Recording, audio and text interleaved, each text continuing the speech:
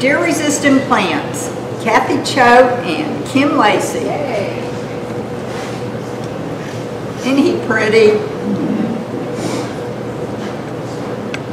The Leon County deer population, the deer population has increased, decreased, depending on how you look at it. Does have declined as a result of more doe permits being issued and the number of bucks increases because of the antler restrictions. The white-tailed deer is a beautiful creature. It can be found in any part of Leon County. Pastures, roadside, woods, yards, flower beds, orchards, and your garden. We find much beauty when observing them in our surroundings until they show up in our gardens. So why does that happen? Anybody have any ideas? Plant stuff they like. Are they invading our space or have we invaded their space? We've been taking theirs. Let's stop a moment and consider why they show up in our gardens. Anyone have any ideas why? They're probably hungry. When are you likely to see them? Early morning and late evenings? There he is as the sun is going down.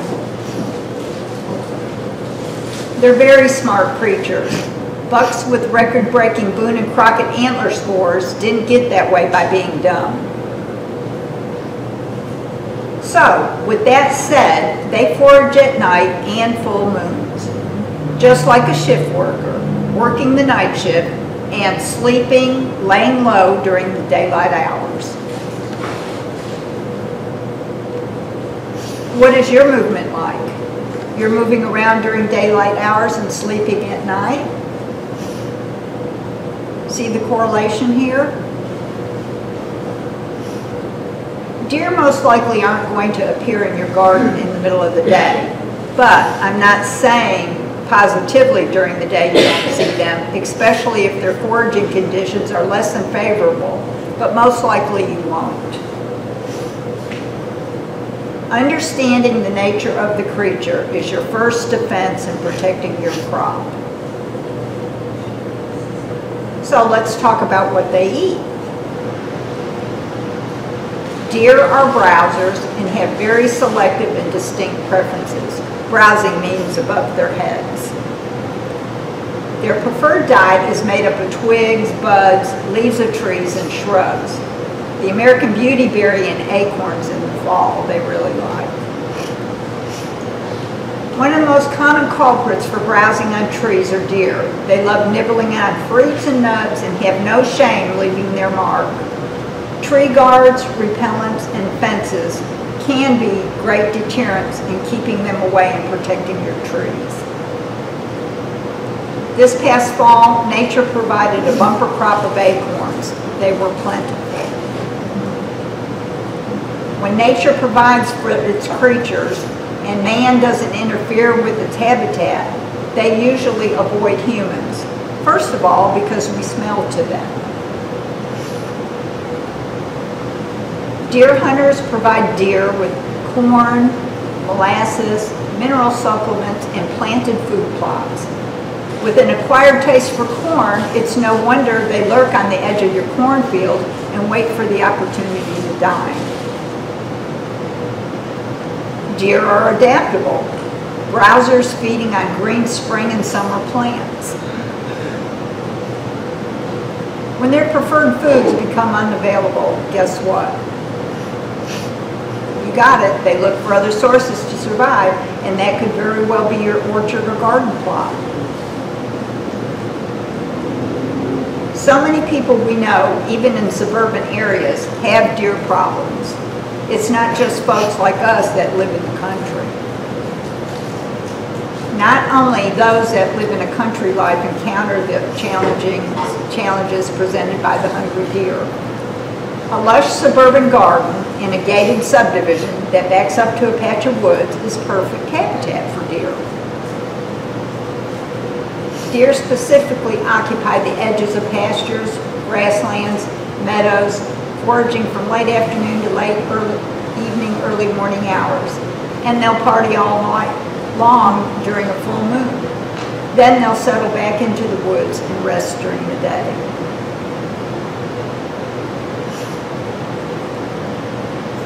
When you spend countless hours growing and tending to your garden or landscape, only to have the deer show up to the salad bar, the resulting sentiments will likely be frustration, rage, and heartbreak.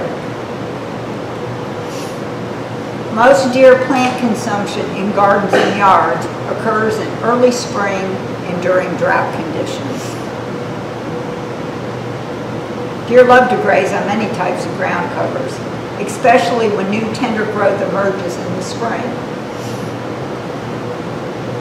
In the spring, when bucks need added nutrition to build muscle and grow antlers, and does are entering the third trimester and preparing for lactation, late summer, early fall, deer are consuming more vegetation to add body condition and to go into colder winter months. Deer are picky eaters and like smooth surfaces, foliage, and leaves that don't have a strong smell. Deer resistant is not deer proof. Deer resistant means less likely to consume. There is no such thing as deer proof. Amen. Delicious food for deer. The key characteristics of their restaurant menu. Deer love soft foliage, stems and blooms. They prefer tender, broad leaves without fuzz or smell. They're herbivores, meaning they are plant eaters. The shrubs deer like are smooth leaf azaleas. Azaleas are good nutritious food for deer. You know, in the spring when all your azaleas are blooming, they're so beautiful, and then the deer just comes in and just has a feast with those blossoms. The shrubs deer dislike. Landscape shrubs are not the preferred choice. Deer-resistant shrubs, boxwood, arrowwood, viburnum, bluebeard, butterfly bush, your shrub roses, daphne. Common boxwood is a very common shrub sold for landscaping. It contains alkaloids that are toxic to humans and most animals. It is one of the most deer tolerant because deer prefer tender broadleaf plants. Mountain laurel is evergreen. The deer ignore it. Juniper varieties are members of the cypress family and give off a heavy fragrance. The butterfly bush, it's invasive, but it's a pollinator magnet and deer tend to avoid it. The hibiscus dislikes the leaves, but will eat the blooms. Bayberry found in the wild is deer resistant.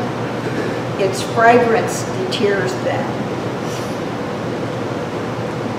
Okay, for trees, deer like resistant shrubs. There are, like deer resistant shrubs, there are several deer resistant trees. The silk tree or mimosa are deer resistant. They are not a landscape, not a good landscape choice. They are an invasive plant. The bald cypress is unplantable. The cherry laurel, the holly, the redbud, the persimmon, they like the fruit but not the leaves. Flowers. The plantain lilies.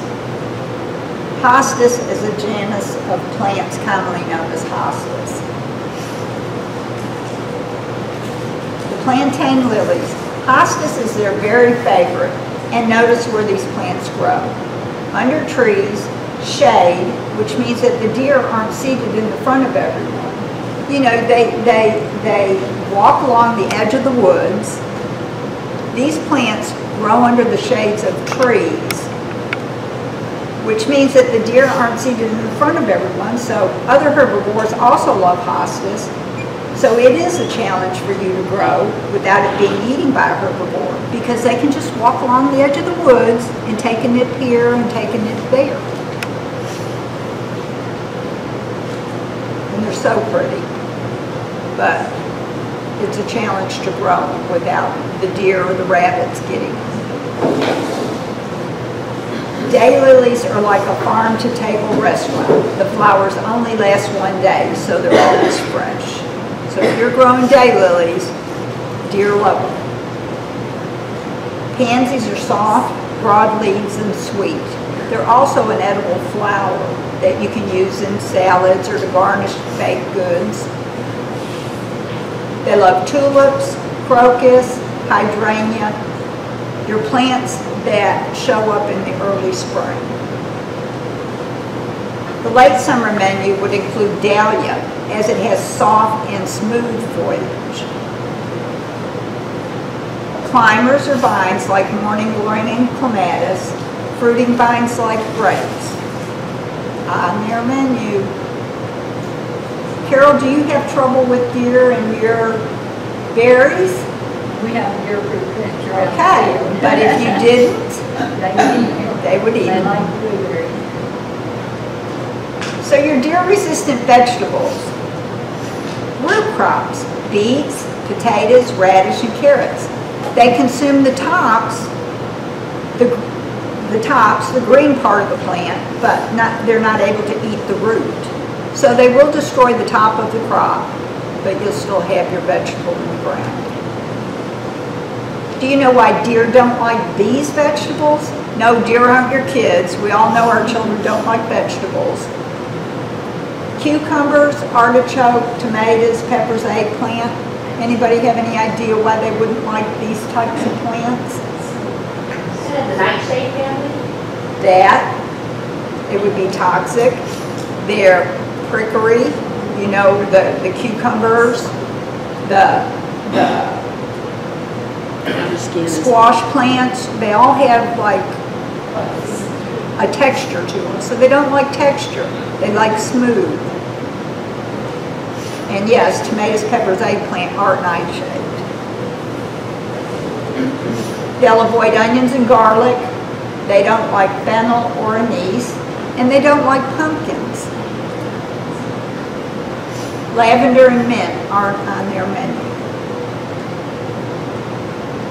They don't like fuzzy plant like lamb's ear, zucchini leaves, or borage.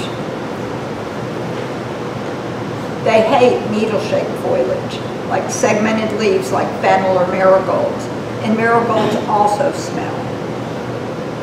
Thin leaves or petals are not their favorite. Deer-resistant perennial, shade plants. Columbines attract lots of hummingbirds, bees, butterflies, and deer won't touch them, and columbines will naturalize. Bleeding heart, lamb's ear has a fuzzy texture. Poppies, they spread fast, they're an excellent ground cover, but they're poisonous. Sun-loving, lavender attracts the hummingbirds and with an unpleasant smell to deer. The bearded iris is sun-loving and poisonous to deer. Yarrow, deer find unattractive and foul-smelling, but it attracts butterflies and bees. Yarrow is a great deer barrier. Lily of the Nile, aloe vera, agave, African daisy, catmint is a fuzzy texture and pungent smell. Dusty miller, they dislike the velvety texture. Your allium, your ornamental onions, rosemary, snapdragon, calendula, aster, foxglove is toxic, heliotrope, it smells and it has a sandpaper texture, daffodils are toxic, zinnias dislike the leaf texture, the salvia, they dislike the scent, and the poppies, again, they're toxic. verbena, and vinca. Um, Your deer-resistant herbs, dill, chamomile, basil, mint, oregano, parsley, thyme, lemon balm, cilantro, lemongrass. All the above, it has a smell. Okay, this information was uh, taken from the Agriculture, Texas A&M AgriLife Extension website or, uh, okay, so here's the listing of the plants which deer do not seem to like well enough to severely damage by eating it. Deer can't read and when they, they're hungry, they'll eat almost anything, so that's our misnomer, okay? They will eat what if they get hungry. But, you know, the basic deal is you, you try to find plants that either are off-putting by the smell, the taste, because they're toxic, or it's uh, the, the, the way, you know, the what it's made of, like Kathy was talking about. So this is Texas sage. Everybody knows Texas sage. It's a classic native, classic native here in the southwest landscape, and, and it grows well in poor soil. In addition to being deer resistant, uh, they don't like the smell of it, and it's also drought tolerant. And this is your Esperanza. Some people call it yellow bells or yellow trumpet. It needs minimal care, and it's the smell again. They don't like it as much. And so then we go to the olean, which there's a big, you know, red light on that because it's very toxic, especially to horses. So I have an issue with that. So we don't plant oleander in my house. Uh, but it is beautiful. You'll see it, you know, down the Gulf freeways because it's gorgeous. So, and they are different colors of them, but it is, uh, it's actually Mediterranean region where it originates from. Uh, but like I said, it's very uh, toxic, and so if you do plant it, be careful where you plant it. So, you know, animals and children can't get um, around it. And then we have pomegranate, and it's crazy. That stuff can grow here. Um, it's actually native to North Africa and Western Asia. But I saw pomegranates grown at Lovelady High School. They actually had fruit on them. They were out there in the in the planters. And I'm like, this is Flowers This is crazy. But anyway, it does grow here, and you know, pomegranate is good for the you know the, the fruit and the juice, and basically the pomegranate fruit. It's because of the texture, the hard exterior of it. They don't try to mess. They can't get through it. So now we have your soft leaf yucca. Of course, any yucca is going to be off-putting to them because of the, the razor sharp edges and the points. They don't care for that. And it is native here, we know that. And so they have a defense against the deer to a point. And we have our native Yaupon holly that everybody has. It. We know it's everywhere. The deers do like the seeds, but it's the, the leaves are off-putting to them. And they really, if you notice, you know, they, they really don't bother it that much. Um, and it's also a native. And so around Christmas, you know, I don't see them ever eating it, honestly, unless they're really, really hungry. Um, and then we have our amaryllis. And I am not really, I'm not, not good at this. I'm not good at flowers. Miss Charlene, she could probably tell you a whole bunch about the amaryllis. Um, but um, it's native to Africa and it's derived from the Greek word amarisso, which means to sparkle, and they do, they're beautiful. And um, not all of the amaryllis uh, varieties are deer resistant. Um, one species that's considered to be more deer resistant is the um, Amaryllis belladonna. It's got tougher, leather, more leathery leaves and strong stems. And so your angel trumpets, um, I don't have our angel trumpet man here today, but um, they are tropical and native to South America. And you can grow them as a shrub or a small tree, and they don't like the taste or the smell. Deer just, th- th- I- it's weird that deer don't like the, the smell of flowers. That's just amazing to me. And we do. And we do, yeah. Uh, deer prefer feed on flowers, stems, and leafy green foliage of tall plants, although they'll eat wilted vegetation and pinch, which is why well-tended home gardens are so tempting during the dry summer. So just basically let your, let your stuff grow high so they can't reach it. Um, no, I was just joking, but, uh, let's see. Using deer resistant plants in the landscape will help discourage plant consumption. It is so disappointing to plant lovely flowers only to find deer feasting on them. Create a protective perimeter using deer-resistant plants to make it less inviting, and interplanting deer-resistant plants between plants that they like. So basically, you're putting up a, it's like co-planting, and they, you know, the, the big brother protects the little brother. Excluding and repelling problem wildlife from the garden. Proper fencing provides the most reliable way to exclude the larger and mammals from the garden. Choose the type of fencing most suitable for the animals that are known to be a nuisance in your area or neighborhood. Carol. Different types of fencing include wire mesh, welded wire, plastic meshes, and electric strands. Wooden fencing often requires added wire mesh or electric fencing to make it effective. When you install a fence, design it so that you can integrate feature modifications if other pests become a problem. Repellents. Animal products such as predator urine, dried blood, and meat proteins that include fear. Repellents based on plant extracts can usually be sprayed directly on plants. First, spray one susceptible plant or part of the plant, then wait a day to see how the plant responds before spraying all your plants. Some contact sprays might harm plants. Read the label of any product carefully before purchasing. Repellents have the advantage of being less expensive than fencing, but their effectiveness depends on many factors. If possible, for best results, apply repellents before damage occurs. Otherwise, take action at the first sign of damage before the animal becomes accustomed to feeding in your garden. The number of animals in the population near your garden can affect how much damage occurs. Look for hoof prints, split and pointed at the point, at the front and rounded at the back. Deer droppings in the summer tend to be bunched or clumps. Deer tend to trample plants.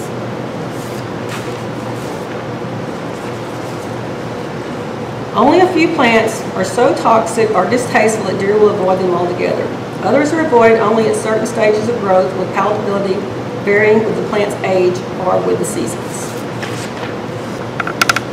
So let's talk about some of the deterrents that are available on the market. These may make your salad bar, beautiful garden and landscape become known by the deer as the worst restaurant in the woods.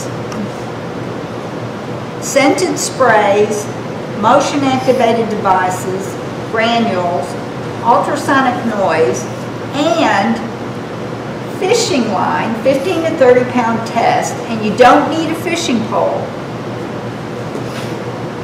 You can get these electric posts at Tractor Supply for less than $2 a piece. You push this in the ground, you take your fishing line, and you go around it. You're creating an invisible barrier.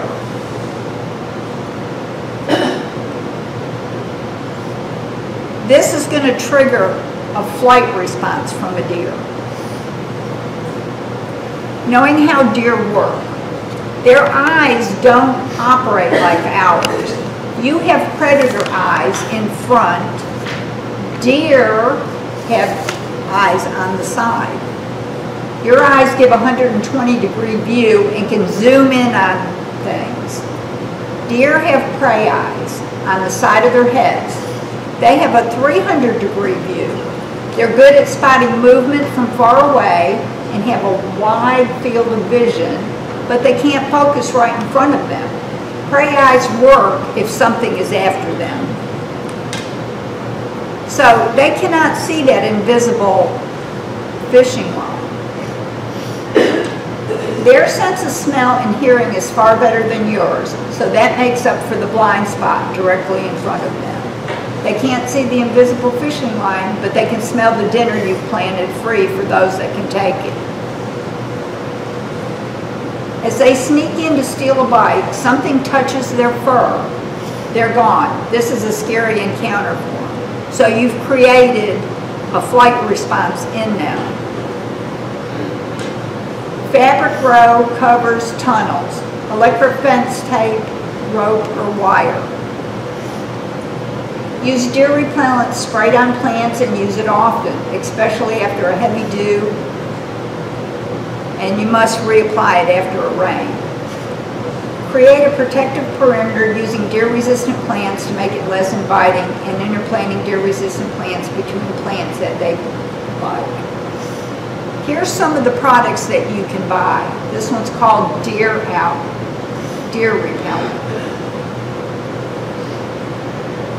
This one is a concentrated spray. That brand is Bobbex. It comes in a little handy spray bottle like you'd use in your kitchen with Windex. It comes in granular form. It comes in a pump-up spray. It comes in granules that you can put out like you put your fertilizer out. Then there's solar animal repellents. They're ultrasonic dog repellent latest flame light motion. It can de- also detect stray dogs, fox, raccoon, skunks, rabbit. It's a deer deterrent with a flame guard. The Bobbex deer repellent uses ingredients that stop deer browsing by using multiple smell and taste deterrents. This animal repellent will keep deer, elk, and moose out of your garden or yard. This li- liquid deterrent is harmless to all wildlife, including humans, your dog or cat, birds, and aquatic life. And I, I would think with anything else, you want to look for something that's environmentally friendly and not toxic to other animals or wildlife.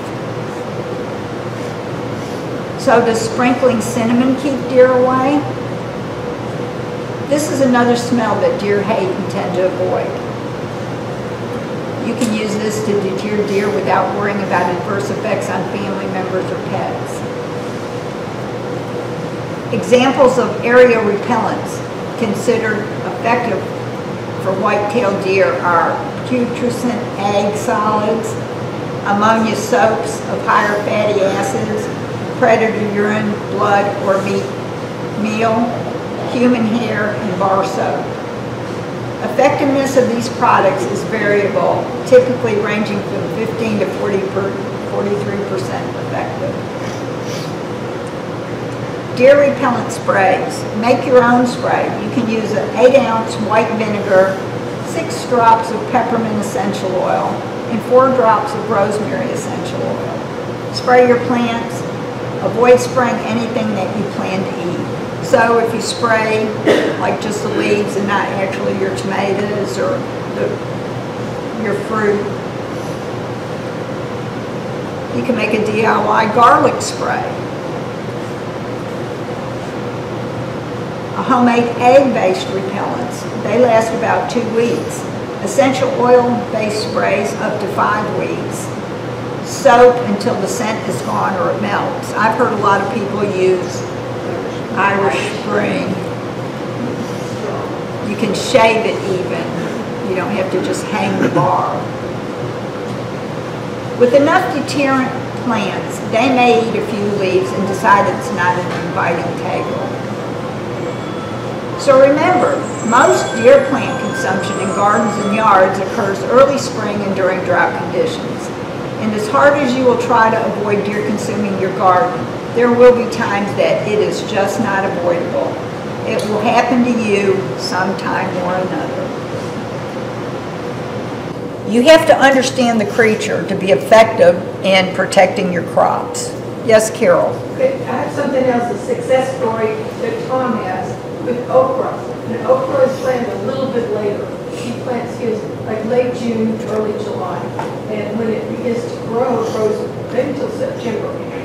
Two years ago, the uh, deer ate all the leaves, all the blooms. They didn't eat uh, the fruit, it's not gonna come if you don't have a plant. Anyway, so last year, probably by accident, he had 40 ounce peanut butter jars.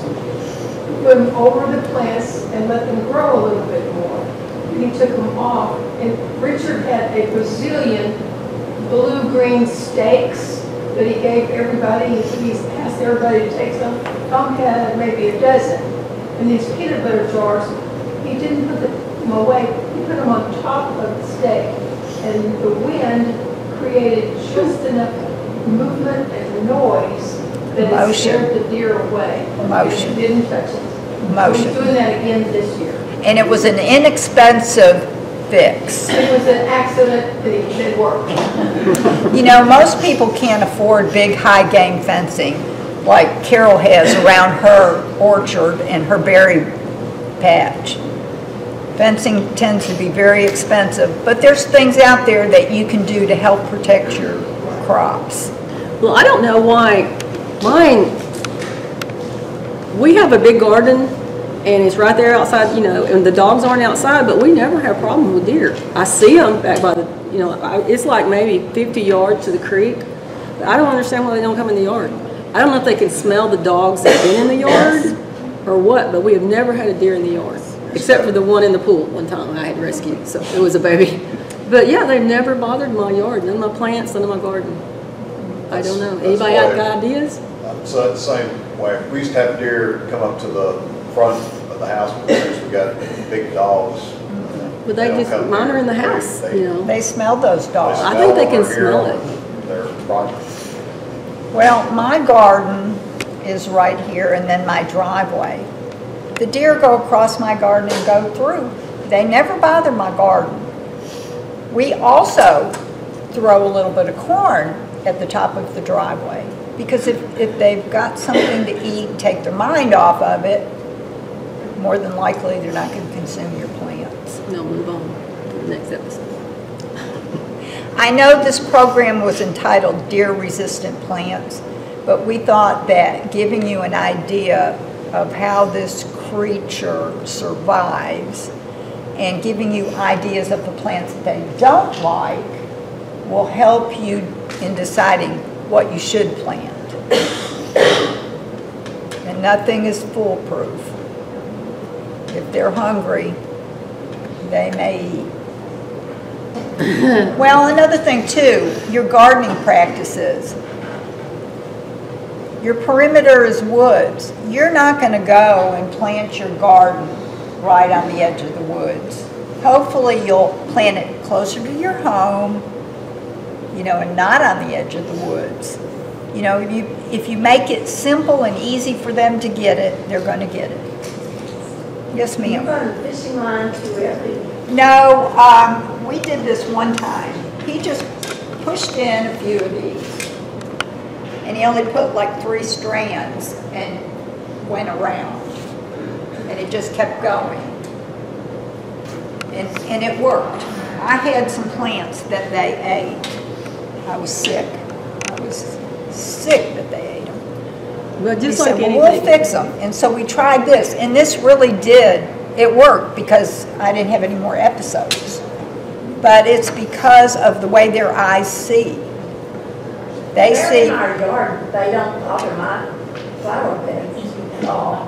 But I have a combination. So on I wood. guess I got lucky. yes, you probably have plants that they don't like. And like before we moved up here, when we first cleared our timber, I had planted some, some plants. And I had planted rosemary in between these shrubs. And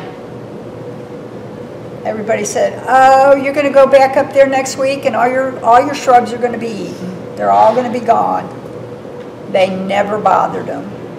Actually, we just cut them off and they're regrowing. They had grown so tall and the deer never bothered them. And I attribute that to interplanting rosemary amongst the shrubs. Something though with, you know, anything like the, like the twine and stuff, like, it's just like a deer, you know, it's just like a hog trap. You better go check it uh, occasionally, make sure you don't have anything, you know, Caught in it. Caught in it, because I would feel terrible. But you know, you just, here's your garden, just put this around the perimeter of it. We do have hog panel and then one row of barbed wire, but that's for the cows. And so I guess the deer maybe haven't, but it's not that tall, it's, you know, so I don't know if that's helping. Well, a deer what. can leave. Yeah, I know, so I don't know. They've never been in there. Yes, Carol? Several years ago, a number of years ago, a program Doug Welch was giving, talking about deer resistant plants, nothing deer. And also the age of the animal. Have a doe, Yes. fawn, or yearling, maybe in your yard, and you take a bite of this plant, chews on it, and, hmm, I'm not sure I like that or not. I'll try another bite, I'll take another bite. Same thing. By the time he takes the third bite, your plant may be completely gone. He's because I don't really like that, I'm not gonna eat anymore, but that plant's gone. Anybody else have anything to add? Or have an experience with the deer eating their vegetables? I know, um, you mentioned about the human hair repels, and I believe your dog hair does as well. So when, if you take your dogs to the groomers, or when you go to get a haircut, sometimes, I know in Marquay, the gal who does hair, she saves it because various farmers in the area come in and get the human hair from her to repel the Well, I know one thing, if you use blood meal in your garden, they can smell that and they don't like it. But beware. I think I created a problem using that because now we have a real mold problem. Mold, gopher, vole, you know, because they want bugs. So I think I may have created a problem, solved one problem, but created another. Another thing you might want to try is your used coffee grinds. It's a good shot of nitrogen for your plants. If you're container gardening, it keeps the ants out of your containers, but it smells. And I would think that would also deter them. Your products, you can find many different types of products on Amazon and in your feed stores and the big box stores. And if you look on the labels and read them, they're basically all the same. They all contain the same ingredients. Well, we want to thank y'all for coming and we hope we've given you some good ideas to take away and try and I hope your gardens flourish and I hope the deer are, are healthy and have plenty of food and leave your gardens alone.